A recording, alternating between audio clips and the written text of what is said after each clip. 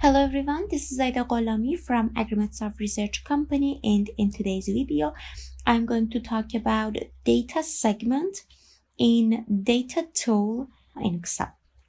So data tool, if you may know, is robust tool or add-in provided for Excel by AgriMetSoft team and you can go to AgriMetSoft website agrimetsoft.com in order to see the plans and the prices etc.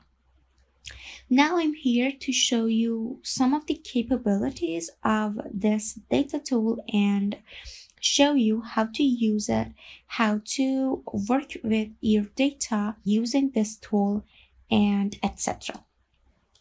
So, if you do not know about reshaping things, let's get into here and talk more about it. So, let's say your data is listed something like this. So, you have 365 columns for days, and then you have as much as rows for year. So each row is one year in here. Or you might have something like this. So you have days listed in rows, and then you have uh, months in columns, and this range repeats for each year.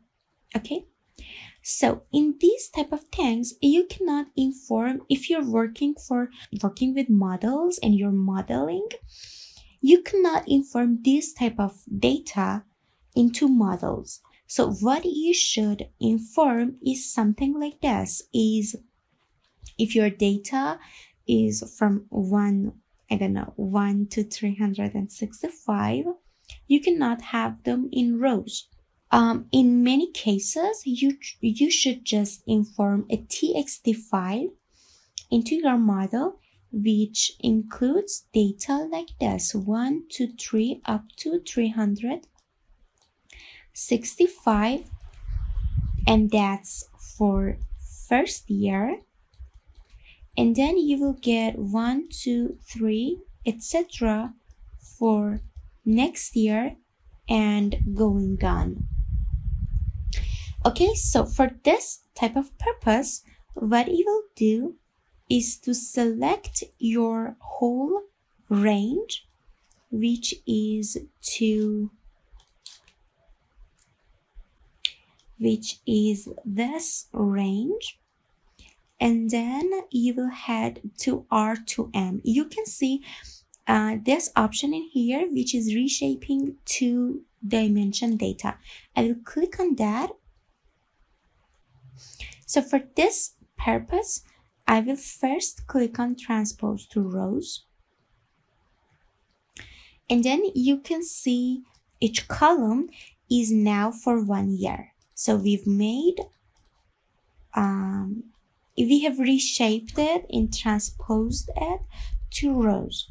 Okay, so I will click on select to new sheet. Uh, and then I have something like this. So another step that I have is now to go for reshaping and now again I will click transpose to column. So you can see all my data is now listed as I wanted. So it's the first year, you can see it starts from 1657. 1657, 57, 60, you can see. This is the first year and the next year just comes along and etc. So let's um, send to new sheet and you can see this is my whole data. And this is right now uh, ready for informing it to the model. But let's get into here and let's see what other things can we do using this uh, robust tool. Another, um, another uh, way of working with this data could be making it to monthly data. So what if you want to make some analysis on monthly data and you want to know the summations, the averages, and this type of things. So for this purpose, you will again select your range and you will click on row daily data to month. Uh, you can see it says select 365 columns for day and for rows for and rows for years. So I click on that. You can see this window opens up. So let's say in here I want to have the averages, the monthly averages for for all years. So I will go for to monthly in rows. Let's see what happens. You can see now I have 12 columns. Okay, 12 columns and of course um, 19 rows for my years because I had from 2001 to 2019. So this is to monthly in rows. So each row, so now cell number one is monthly average for January in 2001. Second one is for February in 2001, etc. So I had to get this voiceover in order to mention a thing I just forgot to mention in the video. And that's that if you want to have the sum of values for each month, you can check this box in here. You, you can check this uh, use summation and then it will sum all the data in each month. So the default mode is the, the default mode of this option will calculate the averages and you will have the averages for months. But if you check this option in here, you will have sum of the values for each month. So it was just a quick voiceover for this part of the video and let's get into the next part. So I can also go for to monthly in columns. What happens is that, so let's have it in here. So this is the data averaged for each month for all the years. So I have year number one, year number two, three, four, etc. to year number 19. Okay, so that's what it does. In here, if you have paid attention, in here we had another segment which is for leap year calculation. So I can check the leap year, use leap year, and here I should mention my first leap year. So let's say the first leap year in here is 2002.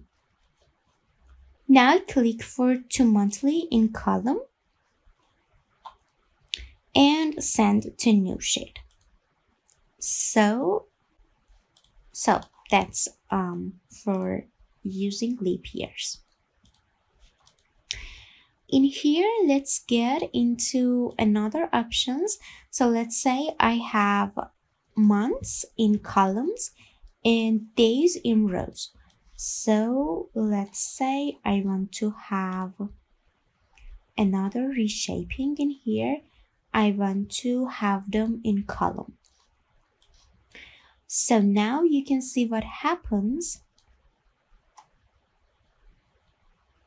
is that I have the first column and after that I have the February okay so I had column 1 and then I have column 2 which has this 2 number in here and then the next one which has these two 14s and etc so I can again reshape them. And okay let's get to another good one. We had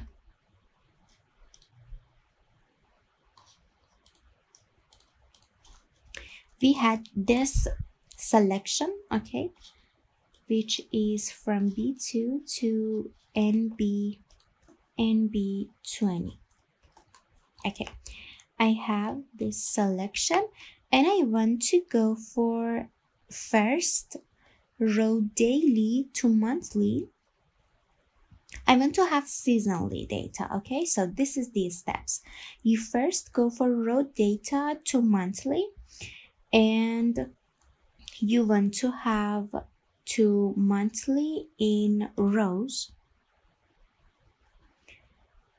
And I want to send it to new sheet Then this is so here is the months and here is the years okay? So I select it again. And I go for row monthly to seasonally and in here if I go for to seasons in rows you can see each season is now in the columns and you have them for all the years. You can go of course for to season in columns which gets you this one. And you can have to custom season. So in here you should select months let's say I want to have March, April, May, June. So I will go for to custom season and this is organized and averaged in their settings. So this season seasonally data is actually the average of data for each season. So this is the average cell 1 okay this cell is average of winter which is from january to march for year 2001 this is for spring for 2001 and etc so another thing that you so in here i want to have something like trick in here okay so uh, another thing that i just forgot is working with one dimension data. You can do the all transposing and reshaping for one dimension also. And you could transpose it to rows, which makes this column, this whole column into just one row and 20 columns. So let's get a trick in here. So let's say you have to look you have to organize your data for your model and you have two columns okay in first column you have years so you start from 1990 let's say first month 1990 second month and third month, etc. And you should repeat it up to, let's say, 20. Month number one, number two, etc. What you will do, this is a trick, okay? So I want to show you how to use this tool in order to do this type of things. So I have 1990 for 12 months okay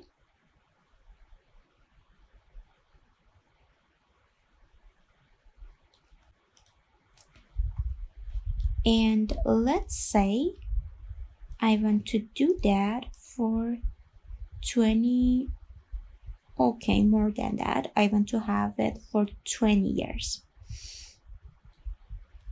So